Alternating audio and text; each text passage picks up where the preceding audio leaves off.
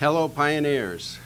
For those of you that are new, I'm Tom Berry, your principal, and I'd like to take just a few minutes to uh, give you some information to help you be successful and clarify expectations for uh, your time here at Leavenworth High School. First of all, I'm very proud of you. We've had a great first semester and uh, had some great activities and some very large successes for our school. So really pleased with the work that we have accomplished here first semester.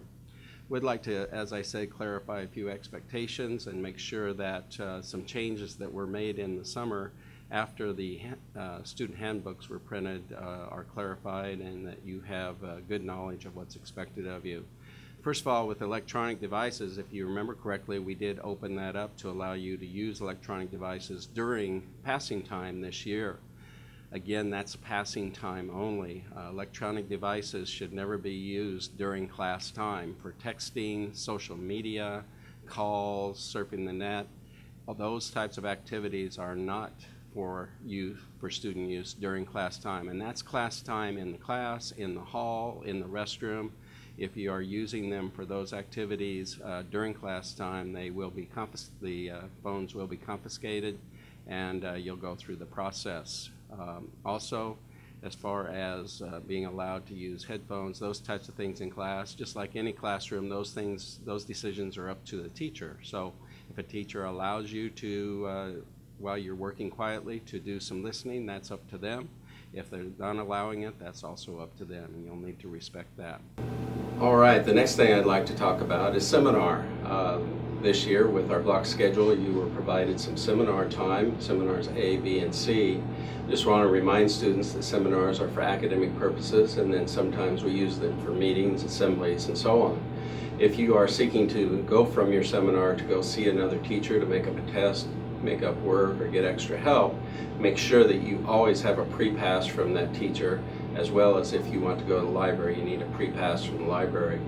Once you have that pre-pass, you will show that to your seminar teacher and then they will issue the big yellow uh, seminar pass.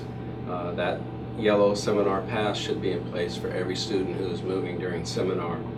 The uh, uh other thing that you have to remember to do is to sign in and out. So that protects you so that we can verify where you're at in case we need to need to follow up with that. So again, that's uh, just the things to remember about seminar. Uh, students uh, do want to remind you that after school, the school does uh, need you to, unless you're with a teacher in a classroom or with a coach or with a sponsor working uh, under their supervision, that you do need to leave the building, uh, especially beginning at around 10 to 15 minutes after school is out. We do give you a little bit of time in case you need a quick meeting or, or need to uh, see some people uh, in the office or in the school. But at that time you need to then clear the building. If you're waiting for a ride, uh, provided you behave properly, we will allow you to wait near or between doors uh, in waiting for that ride. I do want to let you know that at 4 o'clock the building does close. So if you are still waiting at that, that time, you will need to at least go out in between the doors and, and if weather's all right, on outside at 4 o'clock. That's just what we're going to have to do there. So just kind of keep those things in mind. Try to have your rides here on time at the end of the school day. First hour, remember if you come late to first hour, there are tardies to first hour. Uh, you do sign in in the library and uh, that does continue throughout the course of the year. Uh, been asked to explain that tardies in first hour, just like all classes, don't start over till second semester.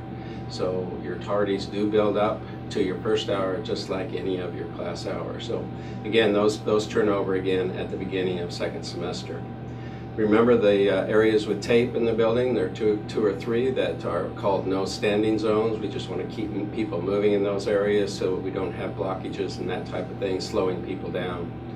Uh, clothing wise, just want to remind you, no sagging pants, making sure that you don't wear hats, bandanas, or use bandana as a uh, hairband, that type of thing, uh, making sure that you remain appropriately dressed when you come to school. Overall, we've done a good job with that. We have had to work with some individuals there. So just keep that in mind so we don't have to hassle you. The teachers at the end of this video are going to hand out some amendments or some changes to the student handbook. You received the student handbook in the planner at the beginning of the year. That has to be sent in clear back in April uh, for it to be published in time for the start of school. There were some rule changes uh, that took place after that publication, and so this is giving you uh, the actual changes that, that uh, took place. There's nothing to change for you now. The, the changes that we gave you, including the electronic changes, those types of things, we did talk to you about at the beginning of the year. This is just putting in writing anything that might be a little bit different from the student handbook. As we move into December here, the beginning of winter sports season arrives. I want to remind all of our students that we want to be the very best pioneers possible. We want to be positive. We want to be, show good sportsmanship and good maturity wherever we go. Not only do we want to have great teams, we want to have great fans. So don't forget to uh, bring your good behavior along and uh, cheer appropriately at our games and matches.